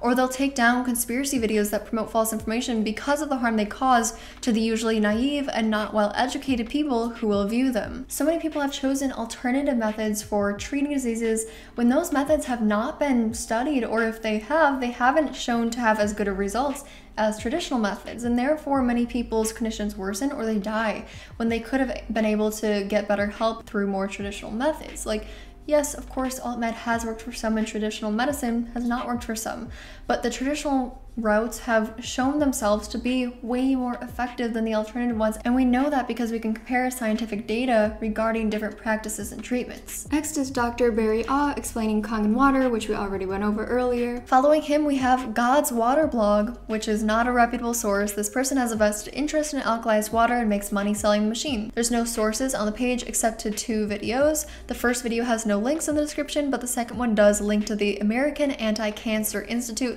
which sounds like it would be reputable, but just one look at the website and you can tell it's not. The first real thing we have here is a review of research on molecular hydrogen. Its one major flaw is that there are no human studies listed regarding HRW.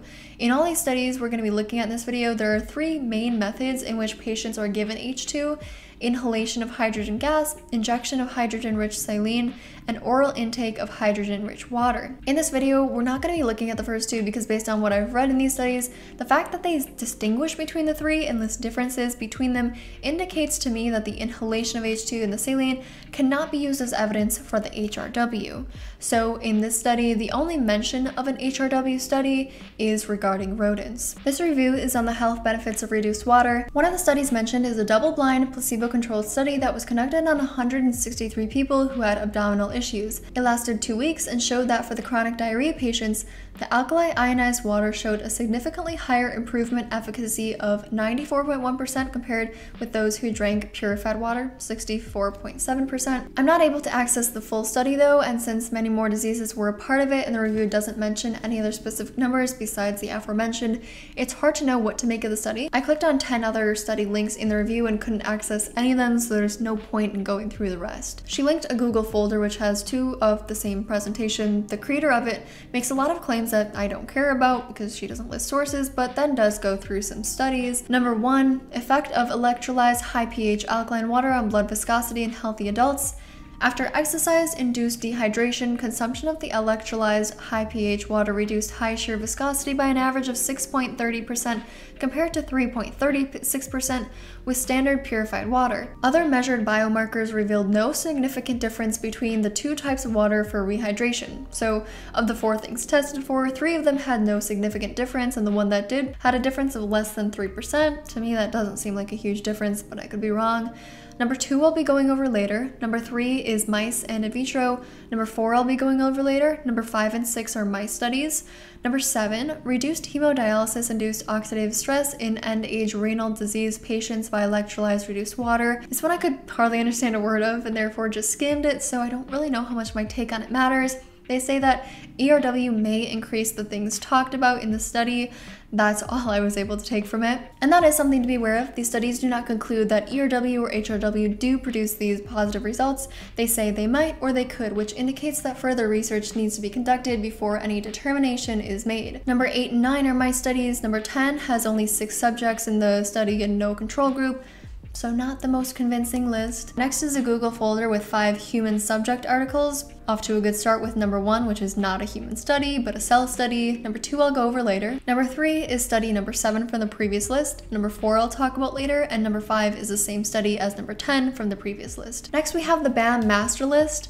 I wish this wasn't the best link I could find, but the fact that this list of 96 studies is as bad as you'll see shortly isn't a good sign. In my opinion, whoever compiled this is relying on the fact that most people will just look at the title of the study, see a familiar word that the distributor has told them is an aspect of Kangen water, and not actually read the study. Or they will just see a list of long links and think, wow, there's a lot of science behind this water. Even if they do read the studies, it won't matter much because most of the links only go to abstracts, the short summary, and you have to click through to another place to get the full thing, or you can't get it without paying. To me, that's just proof that these people aren't reading the studies because if they did, why wouldn't they just link to the full thing? Do they not know that the studies contain more info than what's just on the page that they link to?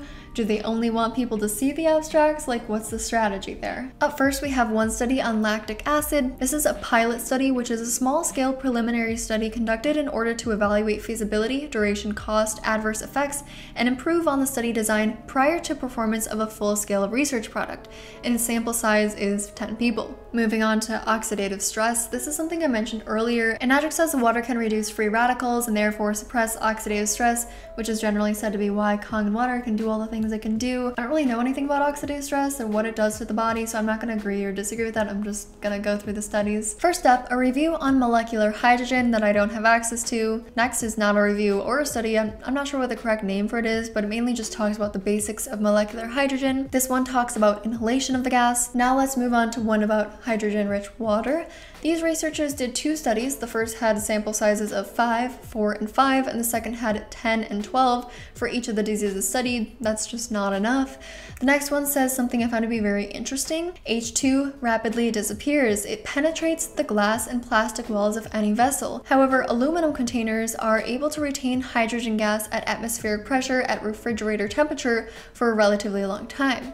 It also says hydrogen in drinking water is able to stay in human and rodent bodies for less than 10 minutes. So when these people leave their water out in glass mason jars on the counters, by the end of the time they're drinking it, they're probably not really getting that much H2, and even the H2 that they're getting doesn't stay in the body that long, although I'm not sure what that means in terms of health benefits. But this one is a review, so I can't know what the studies in it all are about unless I go through each individually, which I'm not gonna do. It already took me such a long time to go through all these studies, so I'm not gonna go through some of the reviews for the categories that have more evidence behind them, since there are a lot uh, of studies listed in the oxidative stress category. But for the ones I don't go through, since reviews are typically good evidence, I'm just gonna give it to them. So we'll call this one good evidence even though I don't really know if it is or not. Can't access the next one or the one after that. Water isn't mentioned in the next one. The following one is one I said I would talk about earlier. There is a chart that shows 63 disease models and human diseases for which beneficial effects of hydrogen have been documented.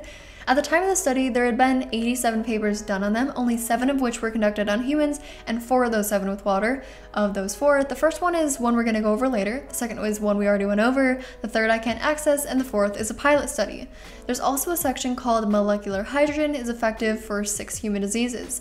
The first one is a study of 30 patients with diabetes mellitus type 2 and 6 patients with impaired glucose intolerance. Lack of statistical significance, however, may also suggest a less prominent effect in human diabetes mellitus compared to rodent models. So why is this listed? Next study is 20 participants, not double-blind, no placebo, and hydrogen-rich water was produced by placing a metallic magnesium stick in water, which doesn't sound like how Kangen water works.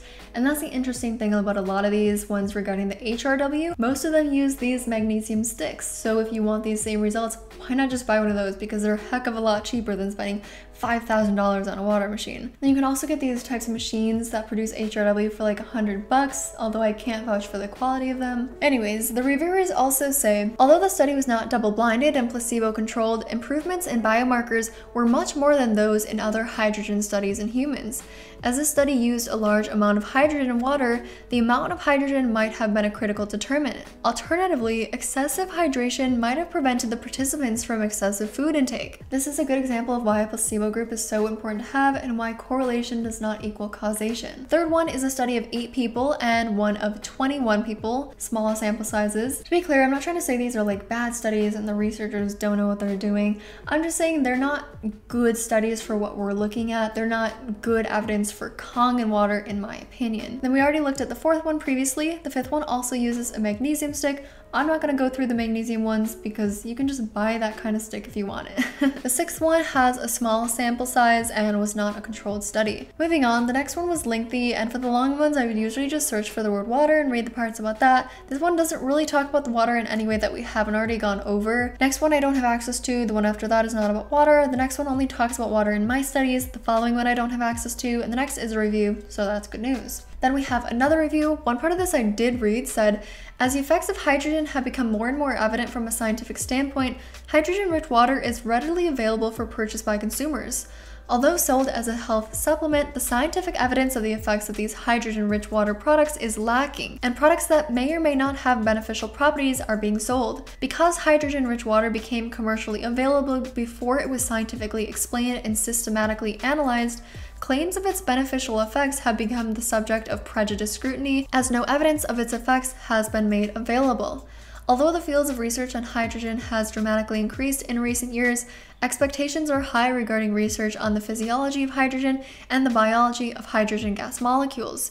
Many questions remain, such as the effects of hydrogen rich water on living organisms and the mechanism by which the hydrogen molecule works, in addition to the suppression of oxidative stress. The next two I have no access to. The one after that is a repeat. Next, I couldn't access. This is just a hypothesis for one potential mechanism of how hydrogen does the things it does. Next I couldn't access. Next is a review looking at oxidative stress, so that's good. This was also a review, I think, but a shorter one, so I went through it and it only mentioned water in rat studies. The following one doesn't talk about water. This one doesn't even provide an abstract. Same with the next one. The next one talks about methods for ingestion of molecular hydrogen. Not a clinical trial, but still has some interesting info in it.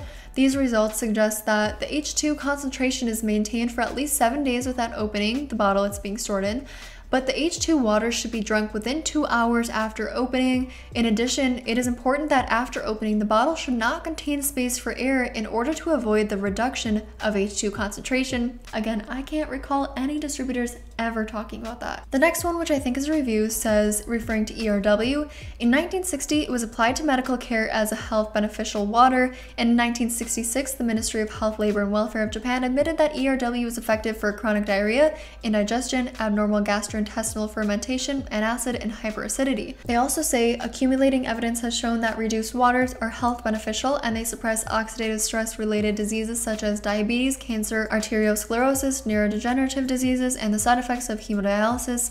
Yet, just looking at the brief descriptions of the studies they list as evidence for that, some are rodent studies and some only have a couple studies linked as evidence. And this review was partially funded by Nihon Trim Co. Limited, which is an ERW company, so take these statements with a grain of salt. And the last two studies in the oxidative stress category, I don't have access to. Overall, this was the category that seemed to have the most evidence. The rest have little to none. Next, we have one whole study for Alzheimer's, and I don't have access to it. Moving on to cataracts, where we also have one that's not about water.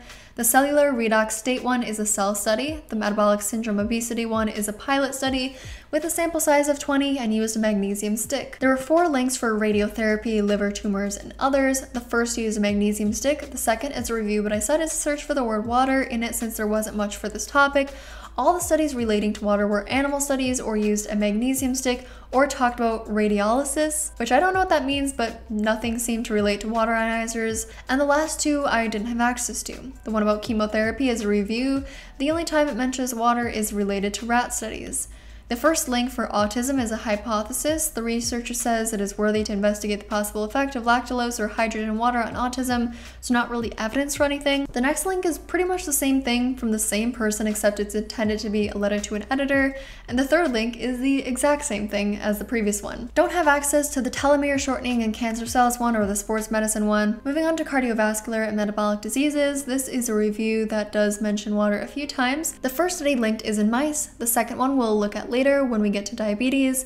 Then in rats, rats again, rats again, rats again, mice, 20 participant study using a magnesium stick, the one we talked about for metabolic syndrome, that was a 20 participant pilot study with magnesium stick, but the last one actually had something. 68 patients in a double blind placebo controlled study with untreated isolated hypocholesterolemia were either given HRW or placebo water for 10 weeks, and the results seemed pretty good. The only problem is the study doesn't say how they made the HRW, so am I seriously supposed to believe that they didn't use a magnesium stick? Moving on. Can't access the pulmonary disease one. The cellular senescence and endothelial cells one was hard to understand much of the terminology in, but it says hydrogen rich medium was produced by a high purity hydrogen gas generator, which doesn't sound like a water ionizer. I could be wrong though. There's two listed for leukemia. This study is a cell study, and the second link I don't have access to.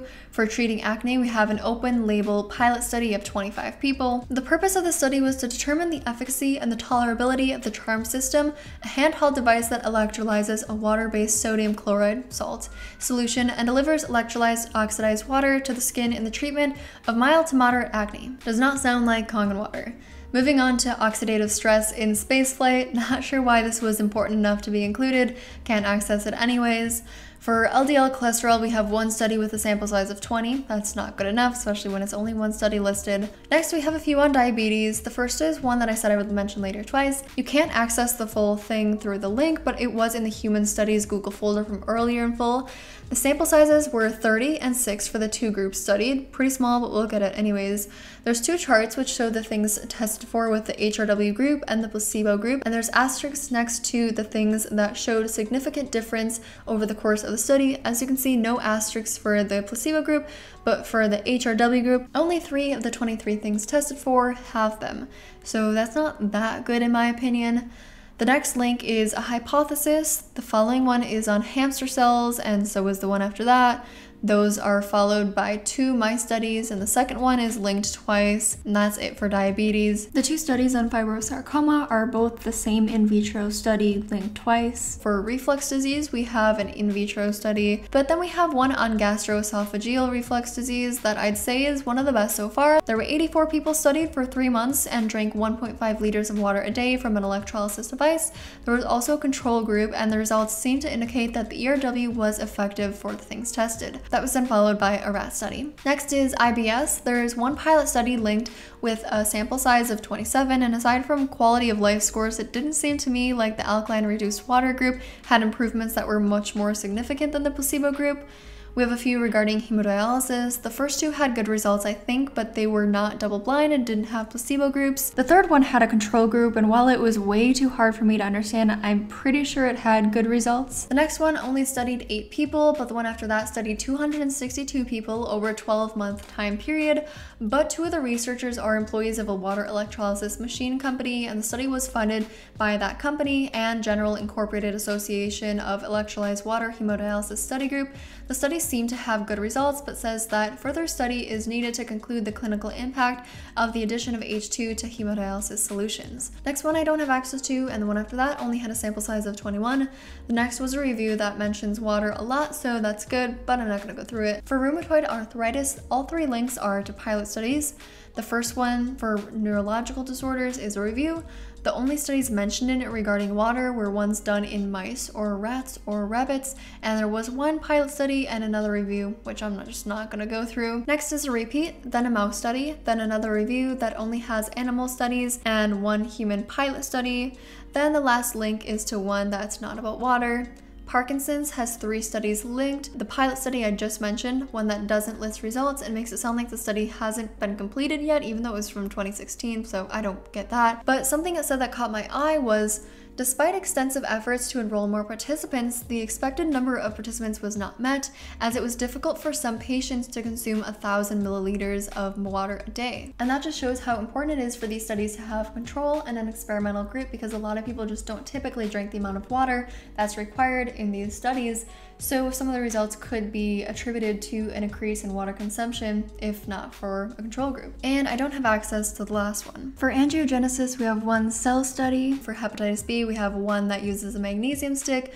Don't have access to the polycystic ovarian syndrome one. Next, we have the second hydrogen molecule biomedical symposium, which links to a report from a meeting. Not sure why this was included. Moving right along, we're on to pH level effect on cancer. The first study says here we show that oral NaHCO3 selectively increased the pH of tumors and reduced the formation of spontaneous metastases in most models of metastatic breast cancer. NaHCO3 is baking soda, which is what is added to bottled alkaline water, which Kangen drinkers love to hate on. But I guess it's good enough for a study on it to be included to support Kangen water. It was a mouse study anyways. then we have a cell study, one that's not about water and one I can't access. The next one regarding pesticide residues reduction is super interesting. I don't have access to the full thing, and keep in mind this is just one study, so it's not definitive. But in the abstract, it says the efficacy of using electrolyzed oxidizing water or ERW was found to be better than that of using tap water or detergent, which is likely why the study was included. But it also says pesticide residues on fresh spinach after 30 minutes of immersion in electrolyzed water reduced is listing three pesticides. Acephate by 86%, omethoate by 75% and DDVP by 46% for the ERW. But the people I've been following make it seem like it removes all pesticides 100%. And you know, the study could have been flawed, the numbers could be off, but I just find odd that this was included when it's not really that good of evidence for ERW in my opinion. And lastly, tumor angiogenesis, and it's just the same study listed under angiogenesis. So there we have over 100 studies that are being handed out as evidence for Kangen water. Well, I doubt they're really being handed out to that many people because I haven't gotten the impression that that many who are buying these machines have actually been interested in the science behind them and reading the studies. I don't blame them, it's not my favorite pastime either. But I tallied up everything in the master list and put them into categories of things that were good evidence, including the reviews that I didn't go through, ones that I couldn't access and therefore don't know if they're good evidence, and the ones that I didn't think were good evidence because they were on animal studies or used magnesium stick or any of that kind of stuff. And there were eight good studies, 25 I couldn't access, and 83 that did not seem to be good evidence in my opinion. I encourage you to draw your own conclusions from these, but to me it seems like more research needs to be done before making any claims about the benefits of ionized water, but it does seem like ERW and HRW certainly might have potential to be effective in certain things, especially regarding gastrointestinal issues and possibly oxidative stress as well. But like I said, HRW can be made for way less money, and so can ERW through any of the machines that are less expensive than Enagics, which are almost all of them, and a lot of them produce lower ORPs too. So in my opinion, distributors should just stick to telling people about the minerals it contains and the optimal hydration it offers, as Enagic states. If you see distributors making health claims on social media like the ones shown on the screen, it might be helpful to privately message the person and tell them that it's against Enagic's policies and FTC guidelines to make those claims. Then if they block you, don't be surprised. You can report them, their full name, maybe their social media username if you don't know the name to Enagic's compliance department, compliance at enagic.com. They likely won't respond to you ever because Enagic's customer service, from my experience and what I've heard from others, is absolutely horrible. So then you can spend months trying to get a response like I did. I emailed them regarding income claims though, but you know, someday I'll get to the health claims. so maybe you'll have a live chat on the Enagic website like I did, and maybe someone will give you a district manager's email and they'll actually respond to you saying that they'll make sure they get reported to the compliance department, meaning nothing will ever be done. If you want to save yourself some time though, since Enagic doesn't put any effort into enforcing anything, you can just report distributors or Enagic directly to the FTC, who also probably won't do anything because they have bigger fish to fry and can't babysit every person in a small MLM who can't figure out how to follow the rules. In my opinion, MLM companies and multi-level marketers alike don't care when they're not following the rules. As long as they don't face any consequences, it really only benefits their business. There's a lot of other ridiculous stuff that goes on in MLMs because these businesses make people do crazy things. So let's take a closer look at the multi-level marketing aspect of Enagic and Kangen Water. Raise your hand if you want to get rich. All right. No. Um, how is this not a pyramid scheme? All right. Let me explain again. Enagic folks generally prefer to ignore you if you bring up anything about it being a pyramid scheme. They know it's not one, just like they know it's not an MLM. But you know what is a pyramid scheme? Your 9 to 5. Uh oh. It seems to me that people in MLMs and even people in the anti MLM community, then of course everyone in between, like, no one really knows what a pyramid scheme is. Simply being able to draw a triangle around a business structure does not make something a pyramid scheme, it makes it a hierarchy. Quick middle school geometry lesson a triangle is a two dimensional shape, a pyramid is a three dimensional shape. So, not only is this not a pyramid scheme, it's not even a pyramid. These are pyramids. I think the best way to start this out is by looking at single level direct selling, multi level marketing, and pyramid schemes like they're on a spectrum. MLM is part of direct selling, but it's different from single level direct selling, where 100% of income is made through product sales and 0% is made through recruiting.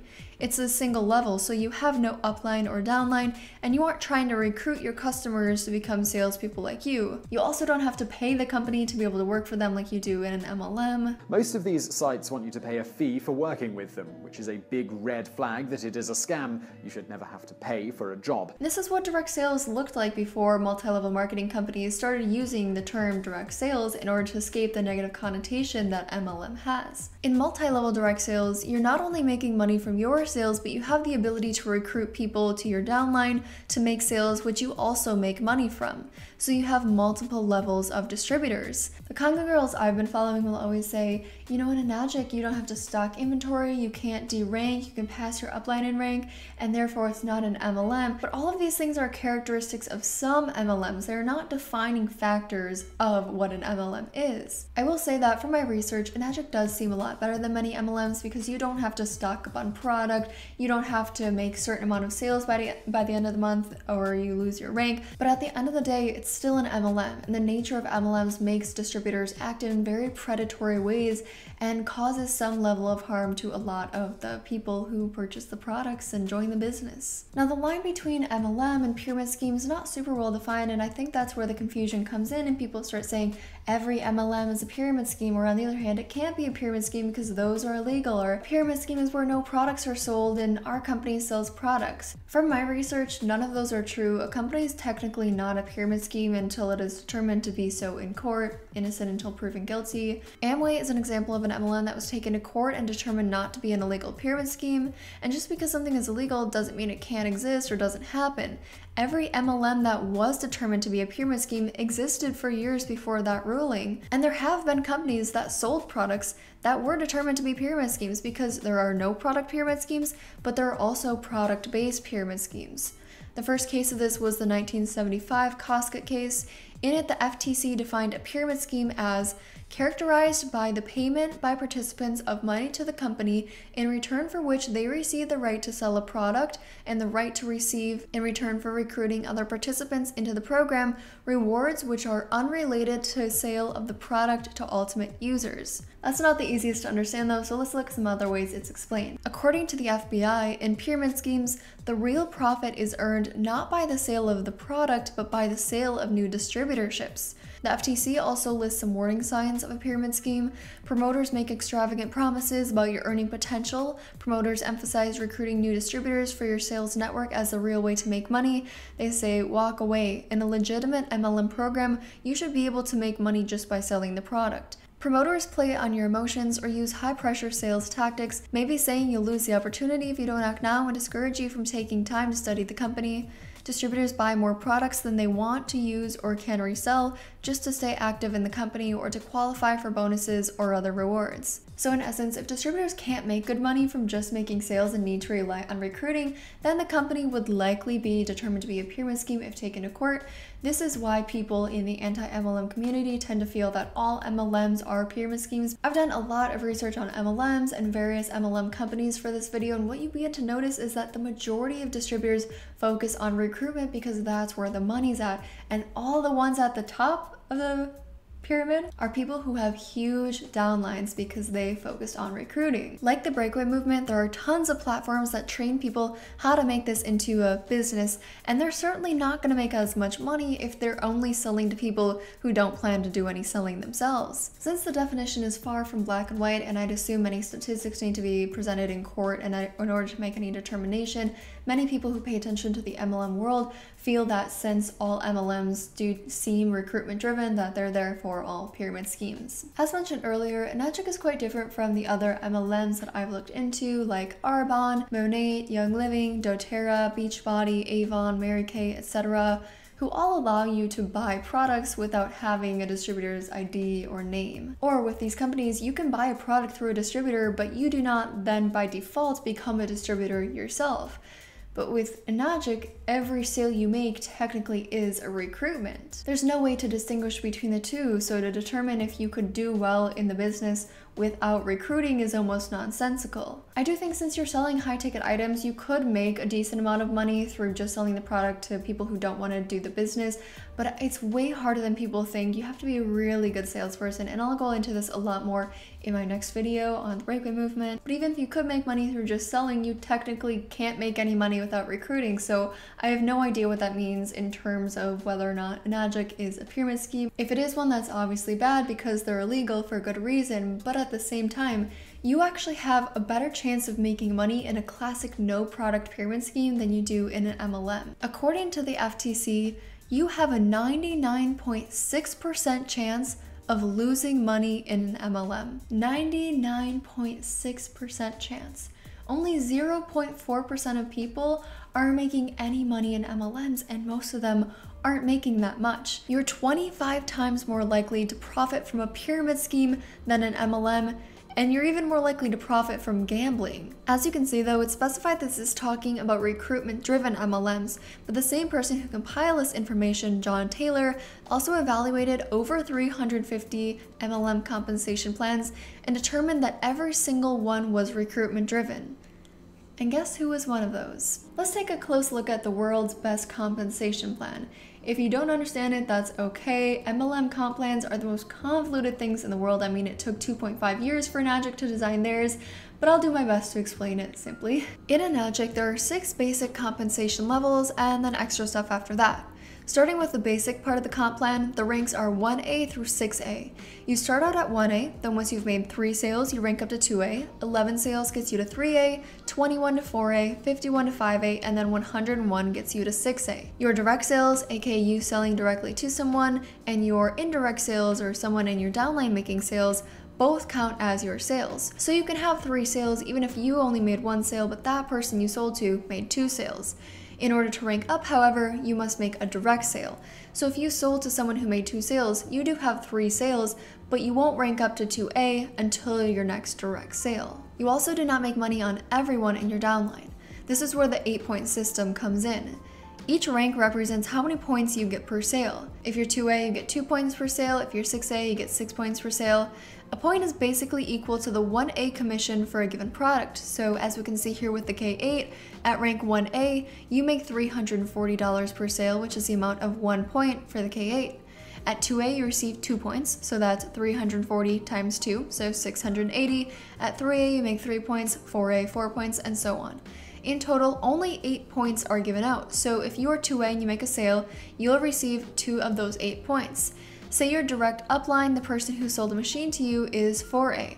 They will then receive 4 of those remaining 6 points, leaving only 2 left for their direct upline. Since those 3 people are the only ones paid commission for that sale, those are the only people where that will count as a sale for them. As you can see, the compensation plan is very alluring to many people. They look at it and think, wow, after only 11 sales, I can be making over a thousand dollars per sale. That'll be a piece of cake. But you're not selling lipsticks or protein shakes. These are $5,000 machines. I've been researching this company and following distributors since January of this year, and I can tell you the majority are struggling to make sales. I've heard from multiple people that on average it takes two to nine months to make your first sale, and for some it takes over a year. And when it takes a person a long time to make sales, they're going to be making less money on their indirect sales. Enagic's policies and procedures state that if you do not have a direct sale within six months, but you have at least one sale within two years, you're qualified to receive 50% of the full commission,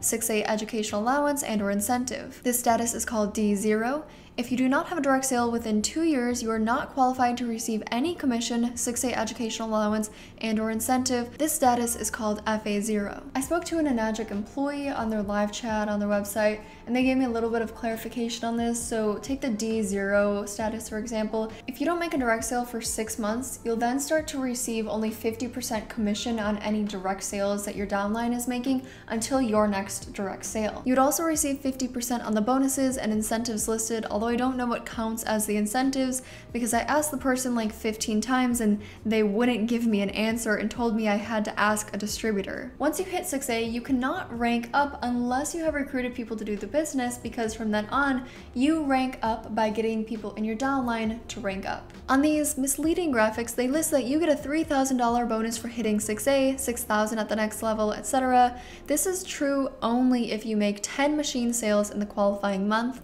After 6A, the next rank is 6A2.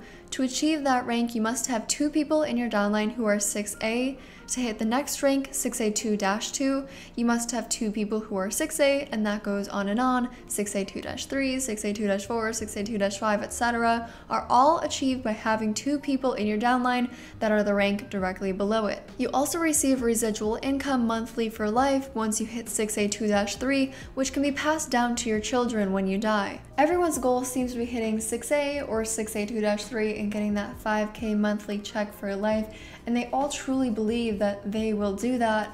I think that's unlikely though. Enagic has these newsletters called Enagic Global eFriends, and at the end of each month, they list every single person in the company who has hit 6A or any rank above 6A for each month. I went through these and tallied up the list of 6A and above 6A for one month each quarter of the year, starting with the earliest one I could find, which was July of 2015, and going to the first quarter of 2020. I've heard that there are over a million distributors or people who have bought the machine, but I'm not sure how many people are actively trying to make it into a business I would assume probably in the 10,000s somewhere. But here is the graph I made. The green shows 6A, 51 was the lowest amount of people to hit that in a month, and 109 was the highest of the months that I looked at.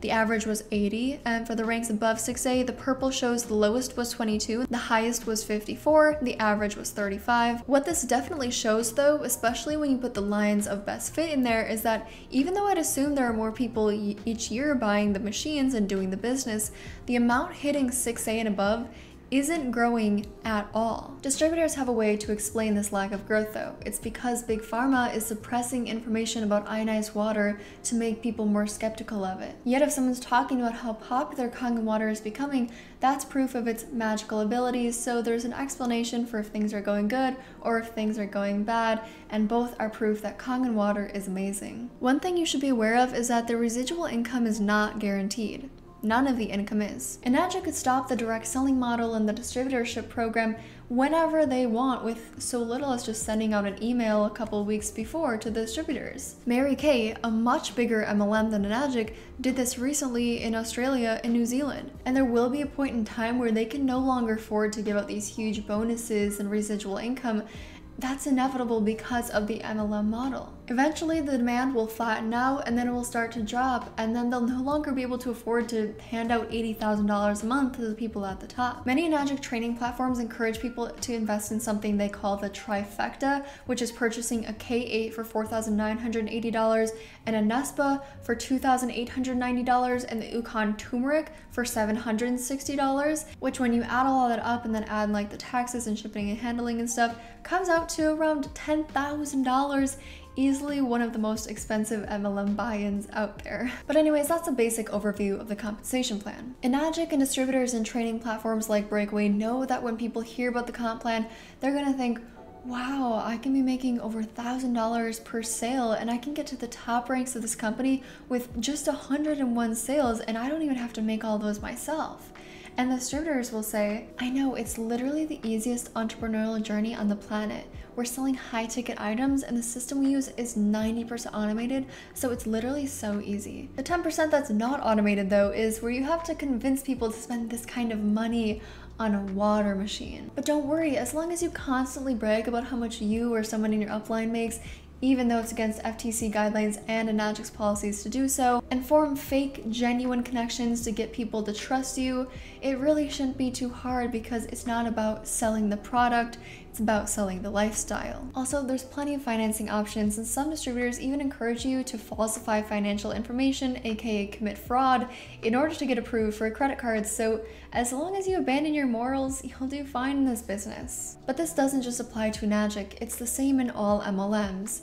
Every MLM changes the way its distributors act and it's usually not for the better. I want to make it clear that I'm not trying to generalize every person in MLM. There are certainly a lot of people who this doesn't apply to. It's usually the higher ups where this occurs more because unless you have a big social media following at the start of your journey, in my opinion, in order to get to the top, you usually have to do some unethical or at the very least shady stuff to get there. It all starts out with cold messaging, which is just messaging someone you went to high school with or met at a barbecue once or don't even know and telling them you have this amazing business opportunity that they would be so good at. The Enagic groups I've looked at don't encourage this and tend to do paid and organic advertising. Paid obviously being buying ads on Facebook or Instagram or Pinterest.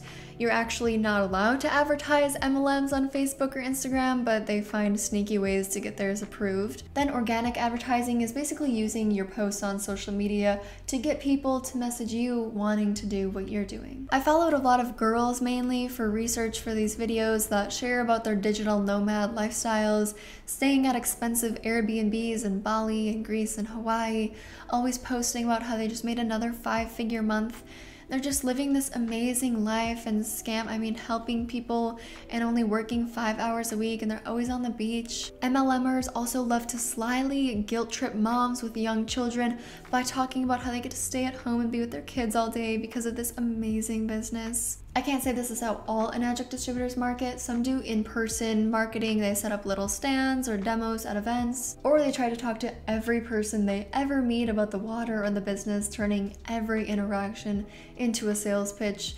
Many MLMers use every situation as a sales pitch, from preying on cancer patients to preying on people who've lost their jobs due to the pandemic to using the murder of George Floyd to get people to buy mascara nothing is off limits. The amount of Enagic distributors I've seen trying to capitalize off people who have lost their jobs due to the pandemic in the past few months is absolutely disgusting. To target people who are in extremely vulnerable and desperate places and get try to get them to join an industry where 99.6% of people don't make a single penny and then convince them to drop five to ten thousand dollars, which they usually don't even have, so they have to go into debt or into more debt to join a company where many people don't even make their first sale for months or over a year.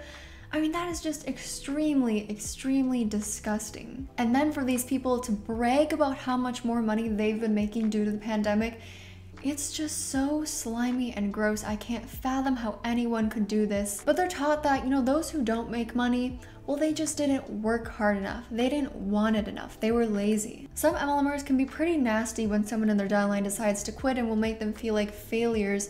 So many multi-level marketers who leave never end up sharing their story because they feel guilty or embarrassed that they of the things they did or that they were even in MLM to begin with. Because once you're out of the MLM, that's when you really start to realize that you or the other people were doing things that really weren't okay.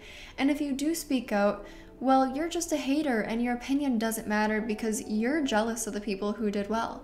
And if you've never been in an MLM and criticized one, you're also a hater, but your opinion doesn't matter because you've never been in an MLM, so you just don't know what you're talking about. To many of them, anyone who isn't supportive of MLMs is a hater. Or if any of your friends or family don't support you joining one, they're toxic and need to be cut out of your life. This leads to so many MLMers cutting ties with people who truly care about them and just didn't want them to join an MLM because they know what these companies do, and then replacing those people with their new tribe, aka the other people in the MLM but they'll likely get kicked out of this tribe that will pretend to love them unconditionally if they ever decide to leave. In reality, it is hard to sell MLM products and recruit people. And in Enagic, you're not selling lotions to people every few months. You're selling one machine, and that person's not gonna buy another one for 25 to 30 years. But in the beginning, they lure you in by saying, oh, it's so easy, anyone can do it, even if you just have an hour a day to set aside to work on this business, you know, you can be successful, you can have this as a little side hustle.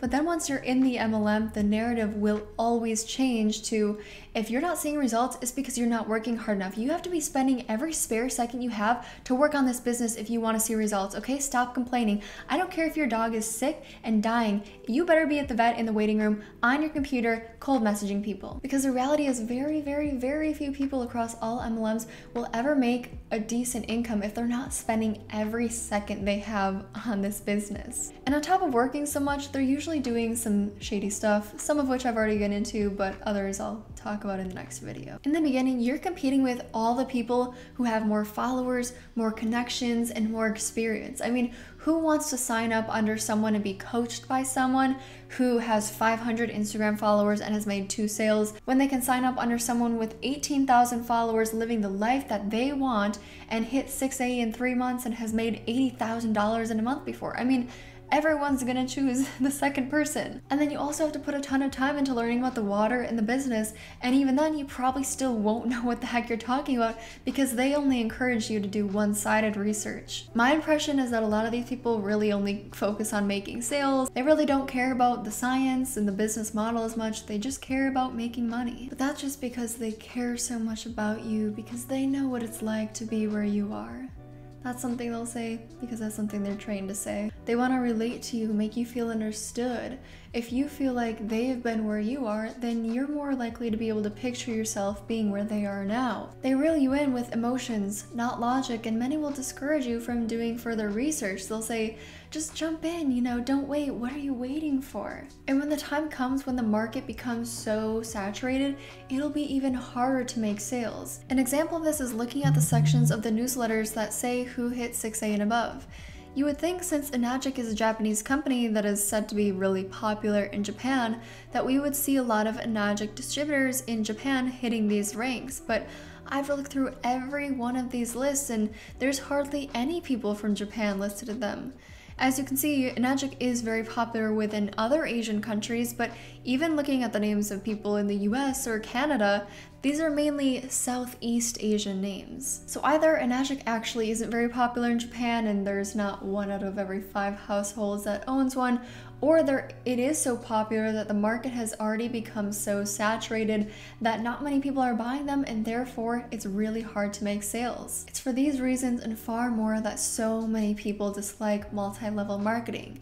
These businesses know about all these things, it's not secret information. But they don't care because when you have a product that doesn't sell itself and you need to rely on turning your customers into salespeople so they can spread false, harmful information, a multi-level marketing model is the best way to do that. When a company has expensive products with very little evidence to back up any health benefits so they can't make very enticing claims themselves, getting people who are susceptible to pseudoscience and aren't very educated on how to do proper research is going to be the best way to do that. MLMs are the best way to sell quackery. Not that I'm saying Enagic's products are quackery, but quack products are best sold in multi-level marketing companies. I highly recommend checking out these pages of quackwatch.org, 10 ways to avoid being quacked, science of a quack medical device, how quackery sells, and distinguishing science and pseudoscience.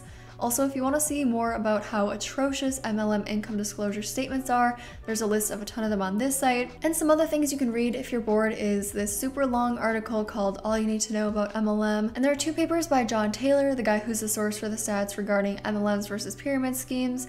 The first is the case for and against multi-level marketing. I was only able to find chapters 7 through 9 online, but they're all on the FTC's website, so pretty reputable. He also has a paper on who profits from multi-level marketing, which is where he shares his results from speaking with tax preparers in Utah. This is a really informative video from a woman who was at the top of an MLM and left. Last Week Tonight with John Oliver has a really good video on multi-level marketing, and on Netflix there's a documentary on the MLM Herbalife that I've heard is really good, so check out those resources if you're interested. There's so much more I wish I could say on this subject, but hopefully this video gives you a little bit of insight to the side of a Enagic and Kangen Water that the distributors aren't going to talk about or don't know about. Again, I'm not trying to dissuade anyone from buying a Kangen machine or any ionizer. I just wanted to put out the information I've come across so you can make a more informed decision. Do I plan to buy a machine? No. Would I ever encourage someone to buy one? No. Would I ever encourage anyone to buy an MLM product? No. Unfortunately, I assume for anyone watching this who's into Kangen water, Probably nothing I say is to matter because experience tops all, especially since I haven't tried the water myself. My opinion doesn't matter to some, but I ask for anyone who feels that way to just really look at the logic of that. You don't have to try a product personally to be able to form an opinion on it. And there are miracle claims for so many different products that were eventually proven to be snake oil or pseudoscience. We're simply not good at making accurate judgments of events based on personal experiences. You know, there's tons of stories of people who say they've been abducted by aliens, yet most people don't believe those because we just don't have good evidence yet. Yet is the key word. Maybe we will in the future.